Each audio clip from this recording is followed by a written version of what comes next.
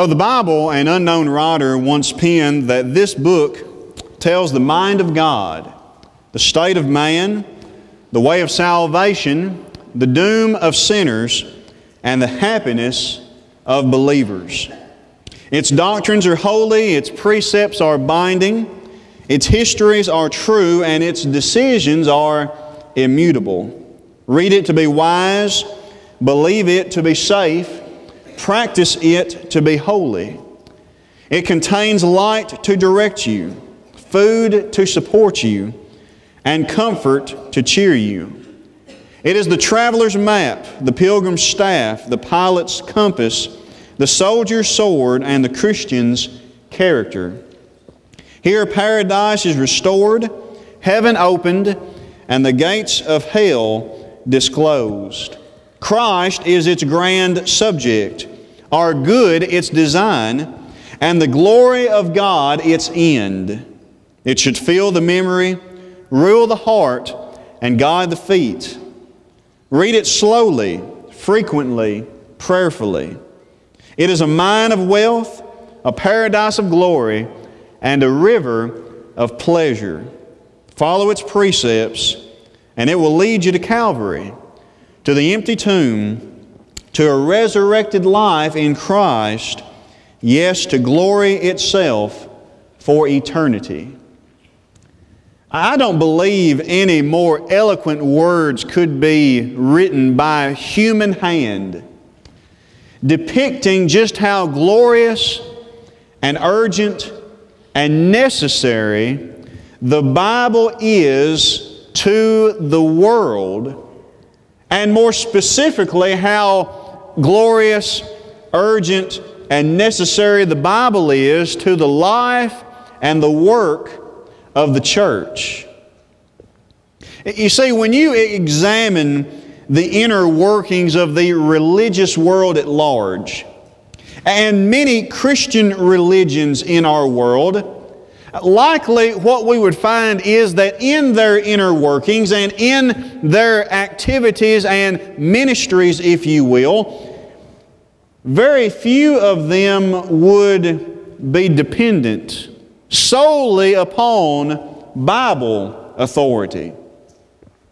Rather, they would turn to manuals or creeds, catechisms, standards, and such like, which are written by mere men and have its origin solely within the minds of mere men. A few weeks ago, we began a series on Sunday mornings that we have been calling What's the Difference? Because honestly, that is a question that many people in the religious world are asking themselves in their search of true religion. They might pull out the yellow pages in any given day and scroll through and look at, see how many different churches, how many different religions are represented simply within their zip code.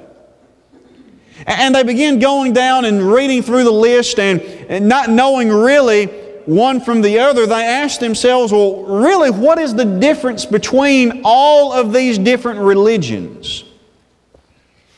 And even more specifically, I believe we find in the minds of many people who may even have a greater understanding or knowledge of different religions when they look at some religions in the world versus the true religion that is outlined within the course of God's Word, then they ask themselves the question what is the difference between those two? And the same conclusion to which we have come each of the weeks we have discussed this question is the difference is eternal. We began four weeks ago by asking the question can it be the case that we can be religious, be sincere in that religion, have the greatest of intentions in that religion, and be wholly and fully devoted to that religion, and yet at the same time be wrong? And the answer to which the Bible comes based on Acts chapter 17 and Paul's interaction with the devout religious Athenians is that you can be both religious and wrong. And then three weeks ago, we moved into asking some more specific questions and referring to what's the difference with regard to the identity of the church. It's an eternal difference.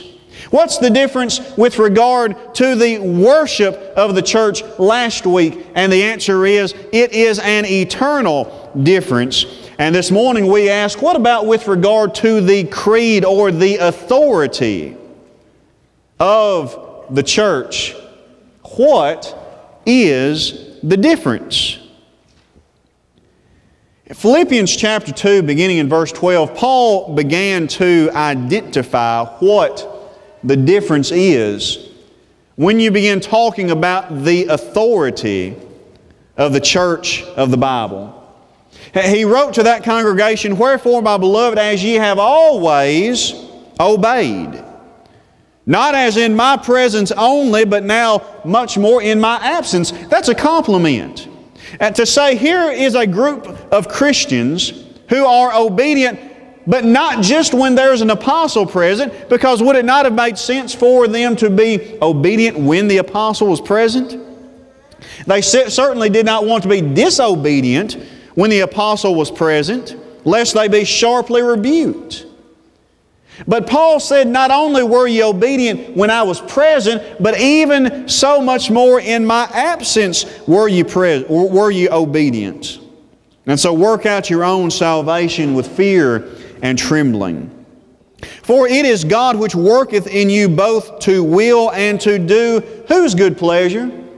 Uh, here's the first reference to the true authority of the true church of the Bible. It has nothing to do with the will of man. In fact, if the authority by which the church of which I'm a member has anything to do with the will of man, that immediately tells me something about its true purpose and intention.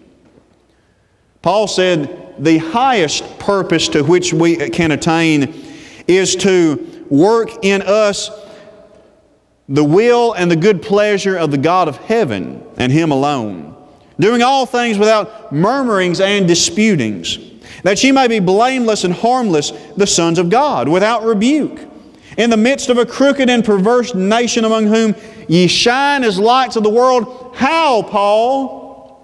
How is it that you in the world, having to live in the world, can shine out from the world as a distinct and different people? Verse 16, holding forth the word of life, that I may rejoice in the day of Christ, that I have not run in vain and neither labored in vain. You see, the standard that we are to reflect in our lives as the church that belongs to Christ is the word that pertains unto life. Now, what word might it be to which Paul has reference that pertains unto life? Well, Peter had wrote, written in 2 Peter 1 and verse 3 that God has provided all things that pertain unto life and godliness. And Paul had earlier written in Romans 1 and verse 16 that he was not ashamed of the gospel of Christ, for it is the power of God unto salvation, which, by the way, is what? Eternal life.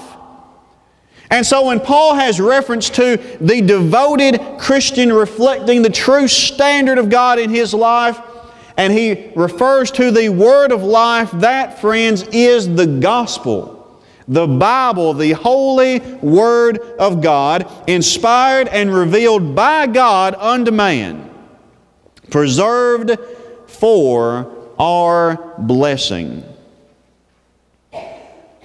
That, friends, is the creed and the authority of the church, and we can afford to turn to no other. But that's a very bold statement to make, is it not? We live in a world with vast religious creeds. In fact, if I were to go to my office and just pull out the different volumes that I have, which by no means exhausts the list, and go in there and just pull out the different volumes that I have that call themselves the creed, the standard, the catechism, the constitution of these particular churches, the stack would be this high. It's a bold statement to make in a world consumed in religious creeds to say that the Bible is the one to which we must turn and we can afford to turn to no other. What is it about the Bible that causes it to stand out and up from all other religious documents that exist in this world today and that have ever existed or that will even come to exist in the future? Uh, there are so many things that we could mention this morning, but I want to specify three in particular that I believe identify the Bible as the sole creed and authority of the church of the Bible, of which we need to and must be members. And in doing so, we'll easily answer for us the question what is the difference? Number one, what's the difference with regard to the creed or the authority of the church? Let's begin by looking at the origin of the Bible. Because ultimately, like any other religious work, the origin of the Bible is left to two options. It either has come from God or it has come from man. That's it. There can be no other option. It is either divine in nature or it is mortal in nature. Uh, now, when you read and study and research the Bible, it's very clear what claim the Bible makes because it is evident that the Bible claims and evidences itself that God has spoken to and on behalf of man for the purpose of revealing His will to us. And does that not fit perfectly with the biblical picture of the personal, loving, merciful, caring, graceful God that we serve? Not a God who created us and then just tossed us out into the universe and has no care nor concern for us today. That's nothing more than deism. No, we're talking about a God who did create us in love, but likewise cares for us in His mercy and grace. And friends, that is a God who has revealed His will to us so that we may know what is expected of us. Is that not what Hebrews 1, beginning in verse 1, tells us? That God, who at sundry times and in diverse manners in time past spoke unto, uh, uh, uh, unto the fathers by the prophets, but hath in these last days spoken unto us by His Son whom he hath appointed heir of all things, and by whom also he made the worlds, who being the brightness of his glory, and the express image of his person, and upholding all things by the word of his power, when he had by himself purged our sins, sat down on the right hand of the majesty on high. Friends, three verses, one point, God has spoken. But while that may be the central point, the writer goes on to demonstrate something inherent in what has been spoken, and that is power. That Son by whom He has spoken has been appointed heir of all things. Friends, that is supreme authority, just as Jesus Himself had said in Matthew 28 18. All power hath been given unto me in heaven and in earth. But not only has he been appointed heir of all things, but he was likewise the source of power by which the very world has been made. John 1, we find it being said of the incarnate Word that by him were all things made, and without him was not anything made that was made. Not only, though, has he been appointed heir of all things. And not only is it the case that he was the power through whom this world and universe was made, but likewise that it is by that very word of power that all things are up, upheld. Friends, we're not just saying that God has spoken, but we're saying that God has spoken in authority and He has spoken in power.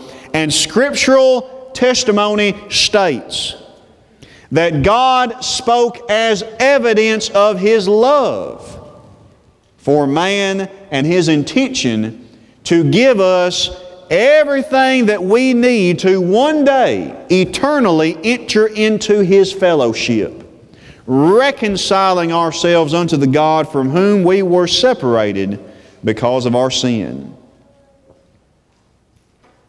However, the reality that God has spoken does not automatically demand that the Bible was the manner by which He spoke.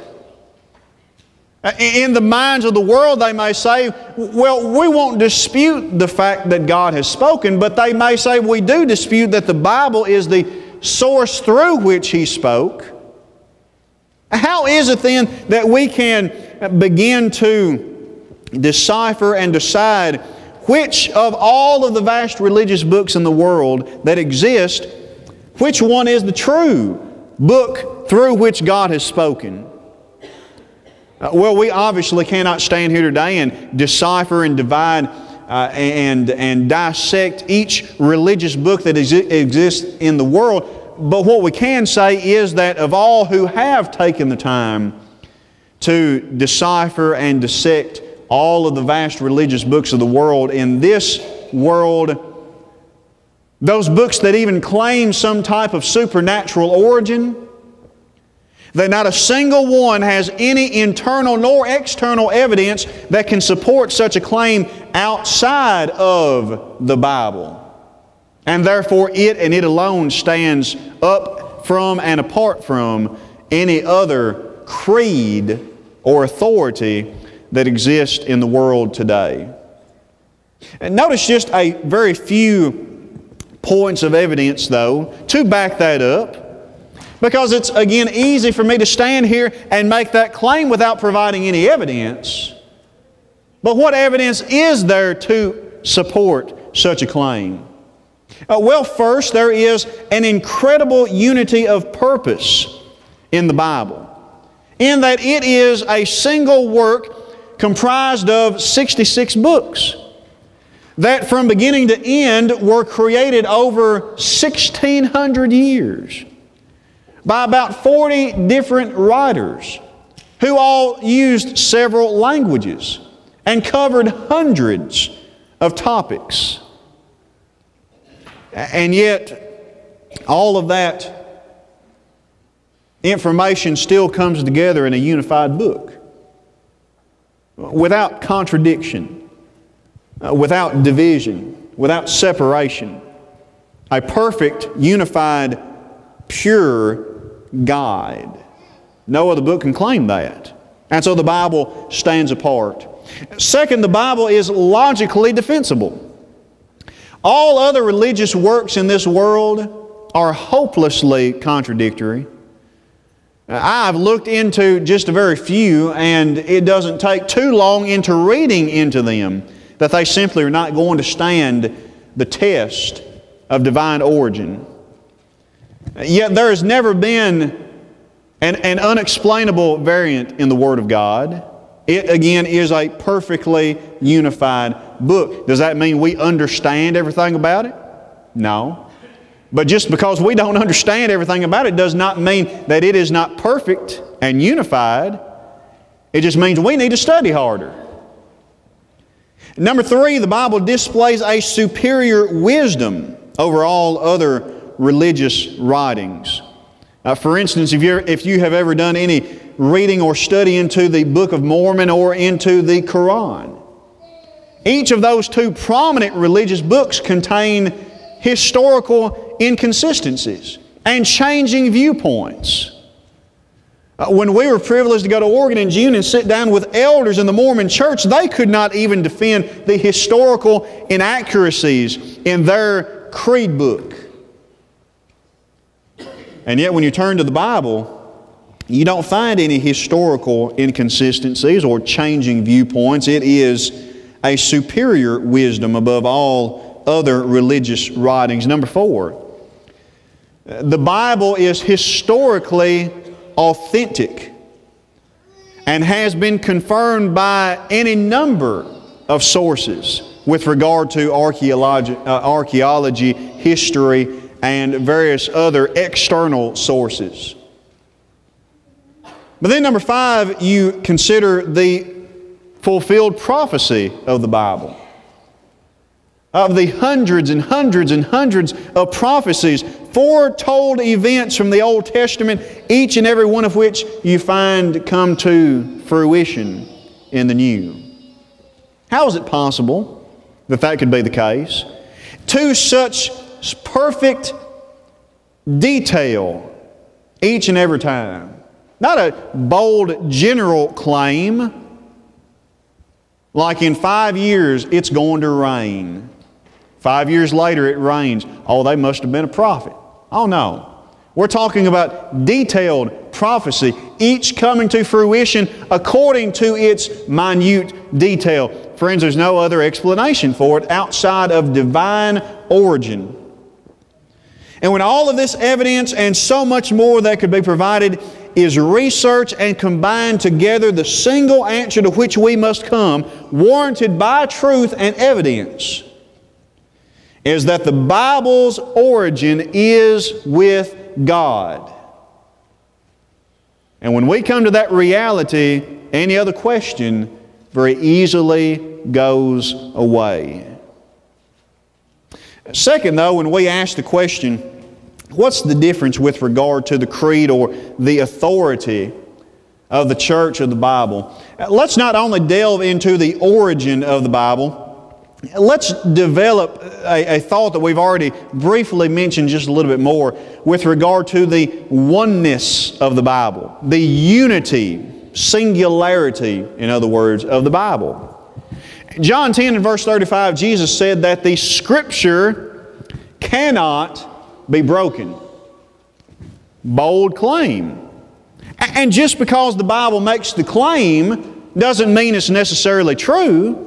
Not every claim that has ever been made is necessarily true, but because it makes the claim, that means that we can examine it to see if it is true.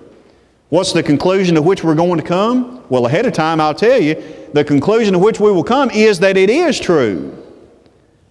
But let's, for the sake of theory, assume that we don't know.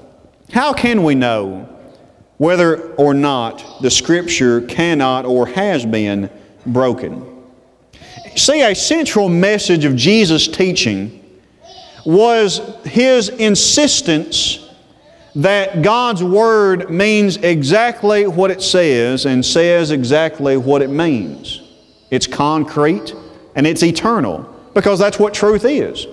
Truth, in whatever area or discipline of life, it, if it is actual truth, it is concrete and it is eternal. Truth does not waver. Truth is not wishy-washy. Truth cannot change over time. Truth is truth. It's always been truth, and it is truth now, and it always will be truth. Uh, things like nature are insufficient to meet man's spiritual needs, and it, it can only supply what we need physically. But there is something in man. We may not be able to see it, we may not be able to put our hands on it, but there is something within man that we know from personal experience that cannot be satisfied only by physical sustenance. Jesus would say in John 4 that man has a soul that thirsts for something he called living water. A living water, by the way, that is available only with God. And man cannot benefit from something that is self contradictory or inwardly divided. And this is where the Bible enters the picture. Because again, its unity is perfect, its message is one. And that is seen in many different areas. Uh, for instance, you see in the Bible a unity in its doctrine. You can read from Genesis to Revelation and never find contradictory statements regarding God's expectation for man in its historical context. The Bible displays standard truth, and truth can never be wrong or divided. John 17, verse 17.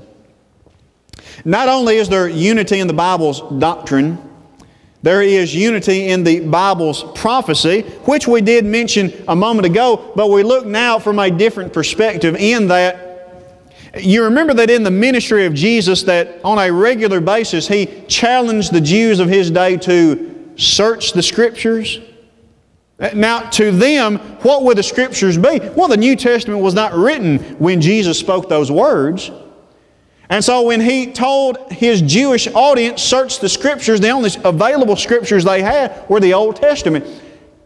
But when he told them to search the scriptures, what did he likewise tell them? Search the scriptures because they testified of Jesus. You have predictive prophecy, perfectly foretold and fulfilled in the Bible, specifically with regard to the Messiah. And again, there can be no other explanation. Number three, there is unity in the Bible's ethics. God's moral standard is universal and it is eternal. Now, the manner by which God's morals and ethics are displayed by law changed from time to time. And by that I mean you have the old law of Moses and the new law of Christ. And you have some different ways by which that law is enacted in our lives, but the standard moral discipline behind that law has not changed. It's still as true and eternal today as it ever has been. There is no divided message when it comes to the Bible's ethics. Number four, there is unity in the Bible's sobriety, meaning this. The Bible prevents, pre- presents rather a calm, rational, dignified approach to its material. Uh, not jumping from coldly intellectual or hotly fanatic. The Bible is simply truth presented in a clear and concise package and left for man's reception or refusal. Uh, Paul demonstrated that to the Corinthians, did he not, in 1 Corinthians 2, beginning in verse 1? When he said, And I, brethren, when I came to you, I, I came not with excellency of speech or of wisdom, declaring unto you the testimony of God, for I determined not to know anything among you save Jesus Christ and Him crucified. And I was with you in weakness and in fear and in much trembling. And my speech and my preaching was not with enticing words of man's wisdom, but in demonstration of the Spirit and of power, that your faith should not stand in the wisdom of men, but in the power of God. You see, the way of the world is let's provide the message, whatever message they want to convey. Let's, con- let, let's convey that message in such an eloquent, beautiful, pleasurable package that we possibly can that, that the listeners will not care whether it's truth or not. But it sounds so pretty, they just want to accept it. Paul said, No, when I came to you, I, I didn't come based on excellency of speech or of wisdom. He said, All I came to do was to tell you the truth. Period. And it was up to them as to what they would do with it. Well, friends, the same is the case today. The Bible provides truth. And then it leaves it up to us as to whether we're going to accept it or reject it. Now, it obviously pleads with us to accept it, but it leaves the decision solely within our control. There is unity in the Bible's expression. See, human writings tend to either over or underemphasize certain things, proving them to be defective. Now, for instance, if you read through the Quran, you'll find an overemphasis on violence. Now, is that a politically correct statement to make? No. Would a lot of people hammer me over the airways if they heard me say that? Yeah. But if you read it for yourself, it's true. The Book of Mormon overemphasizes inaccurate history to a terrible degree. I'm not just picking on those two because you could go to any other religious work and find the same thing. Either an over or under emphasis. But the Bible is perfectly unified in its expression. Uh, there are many other attributes of its unity that we could mention, uh, but friends, they all still point back to the oneness of the Bible and why that should be the source of our authority and our only creed. But then finally, and very quickly, when you talk about the creed or the authority of the church and ask the question, what's the difference? Uh, let's understand very quickly the objective of the Bible. We've looked at a lot of, of, of facts a lot of evidence. But, but you might have this lingering question in your head what's the point? Uh, you've told us all of this stuff. What's the point? What's the objective of everything that we've just mentioned? Uh, well, the point, friends, is simply this uh, the Bible is a large collection of books written by many different people from many different backgrounds, in a few different languages, touching many different topics, and covering many different periods of history, but it has one point. What is the point of the Bible? Redemption. That is it. Regardless of whatever topical theme or historical context in which you read whatever verse you want, it ultimately is pointing to its central purpose, and that is the provision of redemption unto mankind. Jeremiah said in Jeremiah 10 and verse 23 that he knew the way of man was not in himself, that it was not in man to walk and direct his own steps. And friends, this is a confession that Jeremiah makes that must be made in the life of every single individual if we are ever going to establish and maintain a proper relationship with God. It begins with the reality that I am personally insufficient and that there is someone, God, to whom I must cleave in order to be able to walk aright. Now, now, that does not mean that man is inherently evil. I'm not saying that. That's pure Calvinism. But it does mean that when man of his own weakness falls into evil, that we are wholly incapable of self deliverance. This is where the Bible comes into play. Because while self deliverance is not possible, it is not necessary either. I, I can't direct my own steps, and I don't have to worry about that because God does not expect me to direct my own steps. He's provided me the, the guide by which I can direct my steps. Matthew 5 and verse 6, Jesus said, Blessed are they which do hunger and thirst for righteousness, for they shall be filled. God has provided a book that can do many things for us. Jesus just said that it can fill us. In John 1 16 and 17, it is said that of His fullness we have all received, and grace for grace, for the law was given by Moses, but grace and truth came by Jesus Christ. Not only will the Word of God fill us, but it will provide us grace and truth. Colossians 2 9 and 10 For in him dwelleth all the fullness of the Godhead bodily. And ye are complete in him, which is the head of all principality and power. It will not only fill us and provide us grace and truth, it will complete us. But is that not the very thing that Paul told Timothy in 2 Timothy 3:16? Of the word of God that is inspired, that is able to perfect or complete us, providing us redemption that will ultimately save our souls, Romans 1:16. That, friends, is the objective of the Bible.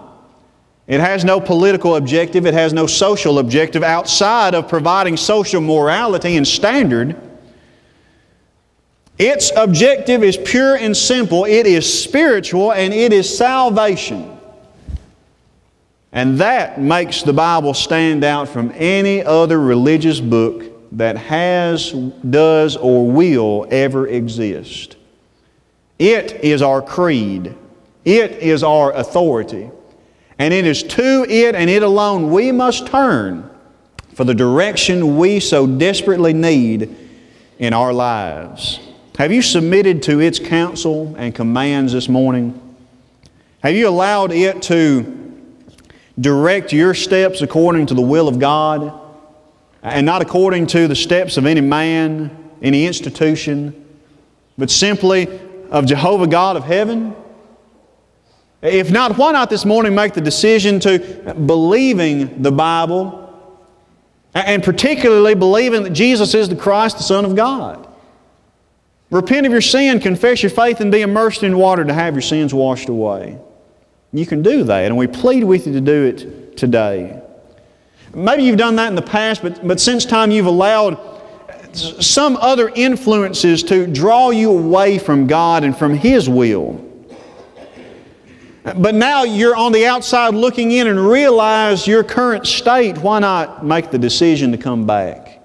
Repenting of those sins, confessing them, praying unto God for forgiveness, and He'll forgive you. Cleanse you of all of your unrighteousness, and remember your sins and your iniquities no more. But, friends, it's dependent on our perspective of this book. What's the difference with regard to the creed of the church, the authority of the church? the conclusion is the same. It's an eternal difference. So why not allow the Bible to make an eternal difference in your life today? If you need to, come even now while together we stand and sing.